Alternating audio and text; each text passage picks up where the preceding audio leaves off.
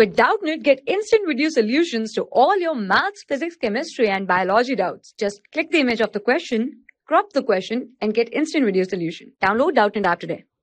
In the given question, the side of a rhombus is given to be 6.5 centimeter and its altitude is 4 centimeter. Then we have to find its area. So here the side of the rhombus is equals to this one which is 6.5 centimeter and here the altitude is given to be 4 centimeter. So here here the side of side of rhombus side of rhombus that one is equals to 6.5 centimeter.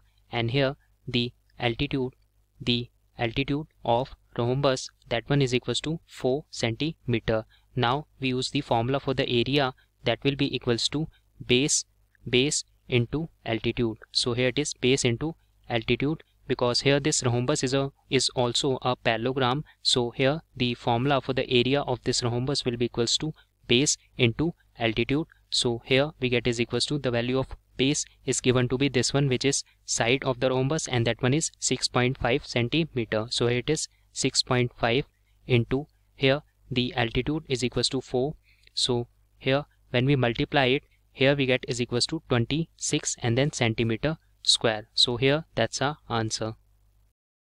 For class 6 to 12, IIT JEE and NEET level. Trusted by more than 5 crore students. Download Doubtnut app today.